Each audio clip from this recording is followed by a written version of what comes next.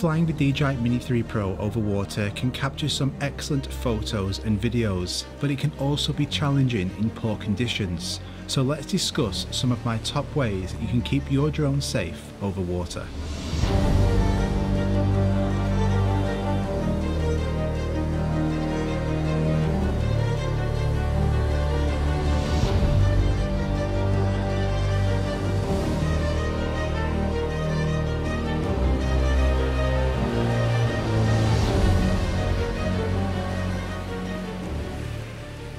So flying your drone over water is exceptional fun and can capture some fantastic views. I love doing this. But for beginners, it is really daunting. So make sure you fly over land first.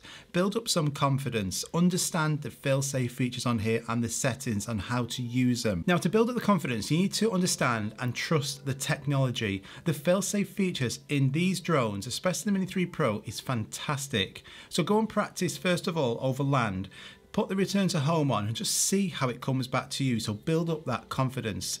Understand how it all works. So if you set those fail-safe features correctly, like your return to home feature, the drone most of the time will come back to you without a problem.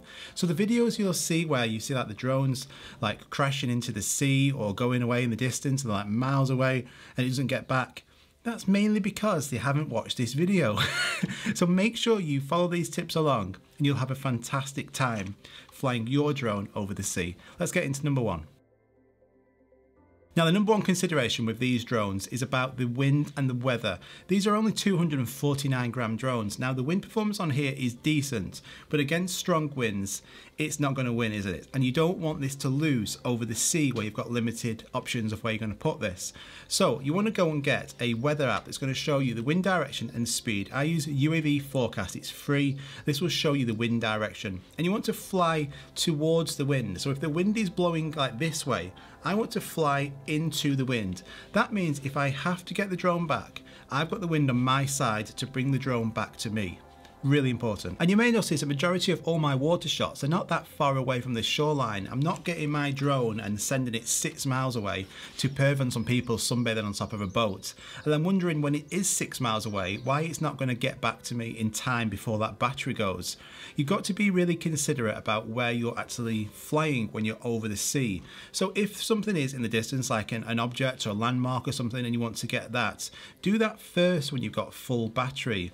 The battery on here, when it's against strong winds, will go down really fast. So my advice again is to do all the far away shots first of all, and then you can do all the close by shots over the shoreline, top down shots when it's pretty close to you, when you've got that lower battery. Do all the far away shots first.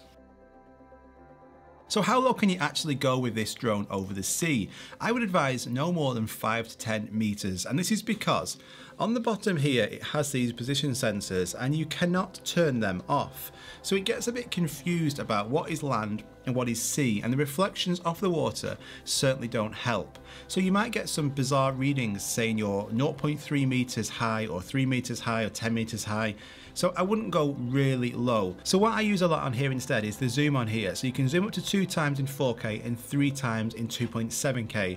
And this creates that illusion you're actually a lot lower than really you are. So as I fly towards this now, I'm just at the normal height, you can see this. And as I zoom in two times, it looks like I'm actually a lot lower and closer to this. It creates that illusion. And now if we switch it to 2.7K, I can zoom up to three times, which looks like I'm even lower. It's a great illusion whilst keeping your drone safe. And just remember this, it's only a digital zoom, it's not optical. So as you zoom in, the quality will deteriorate, but in 4K, it's still definitely usable okay, this is important. It falls into that user error if it's not done correctly. So don't just turn your drone on and go flying off to that party boat because as it's actually flying off towards that, it's probably going to be about 50 or 100 meters away from you over the sea when this drone gets full GPS lock and it sets that home point. Now the home point is over in the middle of the sea.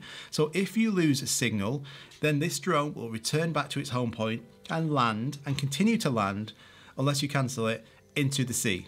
Not a good start. So make sure 100% you don't skip this step, especially if you're going to be flying over the sea. So get to your location, turn your drone on, turn it, get it all ready, and then just let it sit in place until it gets full GPS lock. And then it will say home point updated. Or if you're too impatient for that and you just want it to get it, just hover it in place where you are, really close to you, over land. And then once it says home point updated, then you go off towards that party boat. You don't go first. Now, importantly, if you're not in a static location, you could be on a boat or another vessel, you want your home point to not be static. Otherwise, it's going to return back to somewhere you're not going to be. You're on a boat, you're moving around. So how do we do that? Well, in this situation, you need to then go on to update home point, and you can do this once the drone is in the air. So how do you do this? If you're on the standard controller, you can do this via your mobile data.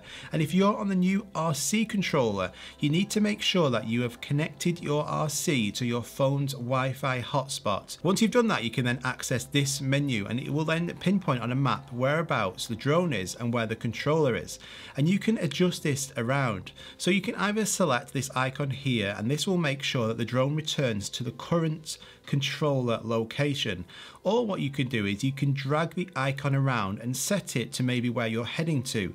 Either way, you want this to be updating regularly as it doesn't auto update. So make sure for that reason you're not mega far away from your drone when you're on a boat. And another tip, if you go into advanced safety settings, rather than actually returning to you, you can set it so it hovers in place. So that way, the drone, if it say loses signal, it will just sit in its current location and then you can see it through your map and you can either go and swim over to it or get on your boat and go over to it and then you can land it and take over rather than it actually returning to God knows where if you've not said it correctly. So do one of those things, 100%.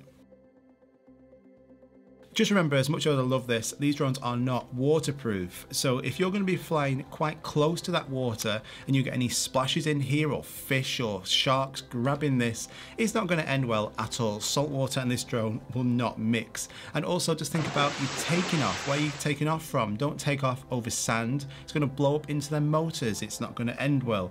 And landing, don't land on anything wet. Think about maybe landing on your hand, taking off on your hand. Go and practice that. Super important to realize that this drone is not water resistant. It'll withstand a little bit of rain, get it back and dry it off quickly, but salt water is a nightmare with these drones. And we talked about the actual wind before, and the wind resistance on here is good, but it's not perfect. So what about if you're over the sea, suddenly you're struggling to get this drone back, and it's actually, you know, like it's it's kind of like getting blown backwards.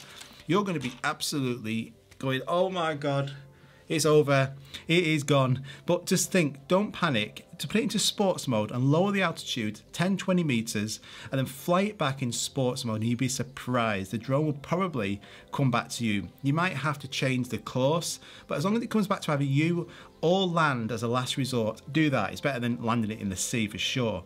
And it'd probably be fine then. I've had that quite a few times and I've always got it back to me just by following those steps. So number one, don't panic. And number two, never ever go into the sea to try and retrieve it, swimming away frantically to try and get your drone. Not a good idea. Remember, it's just a drone.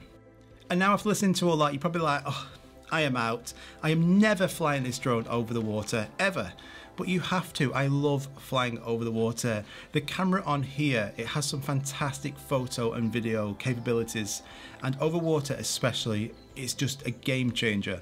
So it's just about understanding the drone, the fail-safe options, the technology, trusting it, following these steps and you will love it. So I really hope you enjoyed that video guys and it helps out. If you did, please consider subscribing, like this video and I'll see you guys on the next one. Bye bye.